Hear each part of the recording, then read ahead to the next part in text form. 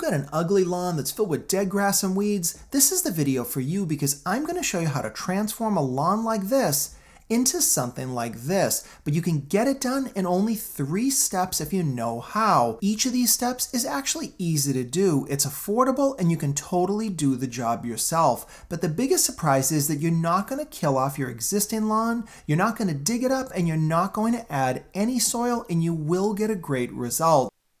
When is the best time to start your lawn renovation? And the answer is easy. It's going to be fall. Fall has cooler weather, you tend to get more rainfall, and most importantly, you'll get less competition from weeds. Now, here in New England, I like to start my renovations the first week of September, but you can start them a little bit later or earlier, and of course, you can adjust this if you live in different parts of the country.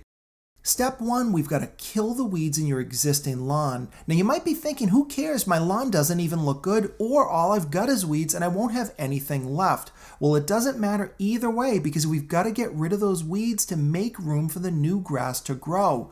But the bigger surprise is you've got grass in between those weeds that can't grow because it's being smothered. So if we could kill just the weeds, we'd make room for the new grass and we'd save the little bit of grass that you've got. But killing weeds is hard to do, right? Well, it is if you're using the wrong product, and the best tip I can give you is to use what the pros do. There's a product called Tenacity that is the best weed killer on the market because it actually kills the weeds but leaves the grass behind. So you can use this as a critical part of your renovation, but you'll also use this in the future to take care of any weeds that might pop up.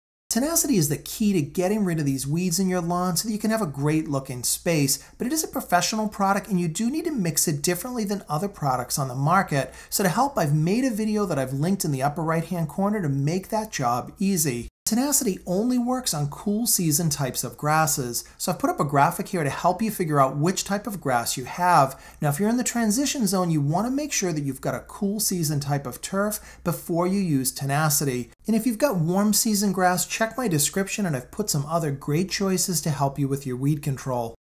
After you spray Tenacity, this is your result. Now the weed still looks okay, but you'll notice it's beginning to turn white after about 5 days. But then we get to around 7 to 10 days, you're going to start to notice spots like this. Now these white patches don't look great, and you might have a lot of them if you sprayed for a lot of weeds, because it means those weeds are on the way out and they're literally being starved to death. You don't have to do anything else to these. You don't have to dig them up, touch them at all. You've completed step one. And in about three weeks, they'll be totally disintegrated and they'll make plenty of room for your new grass to grow. Now we're ready to move on to our next step, but you want to wait at least two days after spraying tenacity to allow it to work its way into the weed.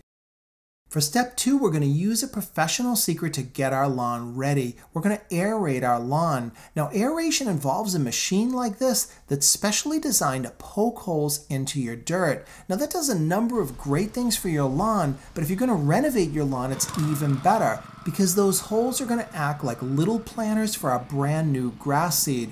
But additionally, this machine will roughen up the dirt just a little bit, and that also helps your grass seed take hold. But the main reason you want to do it this way is because it's the least amount of work. Aerators in the old days were very difficult to use and they could wear you out quick, but fortunately the new models that they get at rental shops are so much better to operate. If you want to know more about using an aerator, I have a more detailed video that I've linked in the upper right hand corner. Aerating most lawns takes between 2 and 3 hours and once you're done you can immediately move to your third step.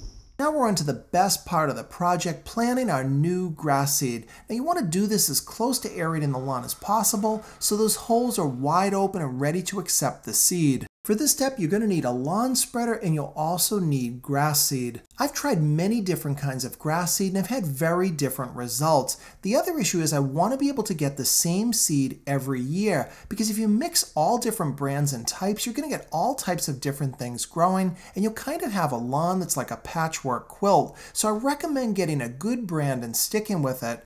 I highly recommend the Jonathan Green brand of grass seed. You can get it nationally, even some retailers, but also places like Amazon. But I like their Black Beauty Ultra. I've just found that it germinates really well and the grass looks great.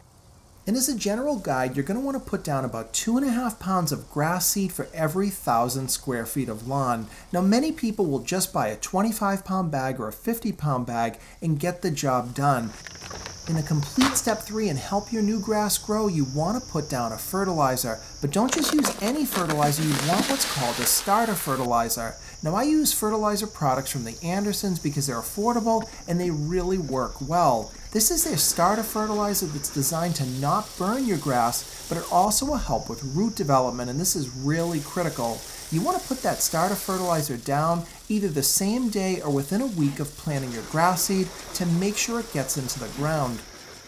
You've now completed the three steps for successful lawn renovation, but you're not quite done. You do need to take care of your lawn to make sure that the grass will grow, and that all begins with watering. Now in the fall, things are going to be more damp anyway, and you'll probably get some rain, but if not, you want to make sure that you're keeping your seed moist. And what that really means is that you're going to water the grass probably once or twice a day. My next tip is actually going to give you time back don't mow your lawn for at least four weeks. Now, I know you're thinking your existing lawn is going to be so long, it doesn't really matter. The lawn is not going to grow beyond about six to eight inches, and when you mow it the first time, it'll still look fantastic. The goal is to let those new seedlings grow as undisturbed as possible.